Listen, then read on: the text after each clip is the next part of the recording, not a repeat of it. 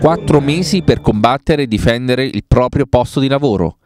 Alla Roland Europe di Acquavia Picena continuano le mobilitazioni dei 150 lavoratori contro la corporation giapponese che ha deciso di chiudere lo stabilimento e il 21 novembre primo appuntamento con i liquidatori e Confindustria. Con i lavoratori della Roland in agitazione per la decisione della dirigenza di mettere in liquidazione lo stabilimento di Acquavia Picena, Luigi Pignoloni della FIOM CGL, qual è la situazione e quali sono le vostre proposte?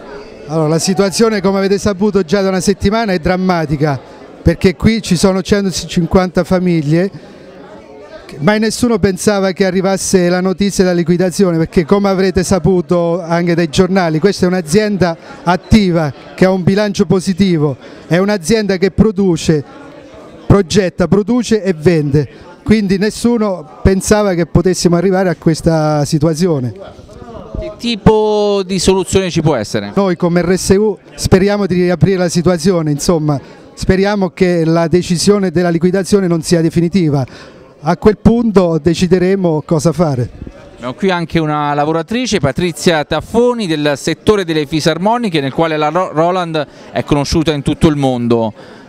Cosa producete, in che modo si svolge il lavoro all'interno dell'impianto e qual è, reazione, qual è stata la sua reazione a questa notizia? Beh certo, io faccio la realizzazione della fisarmonica, non mi aspettavo questa decisione, quindi noi lotteremo fino alla fine, fino a quando questa realtà venga messa di nuovo in discussione.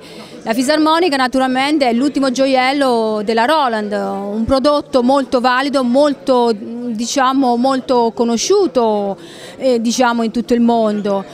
E siamo rimasti sorpresi di, di questa situazione e speriamo che insomma, possa migliorare queste condizioni. Se pensa al futuro prossimo riguardo la Roland, lei è pessimista o crede che ci possa essere qualche spiraglio? Io penso che ci sia è possibile avere qualche spiraglio perché noi siamo molto professionisti, molto, molto e molto e possiamo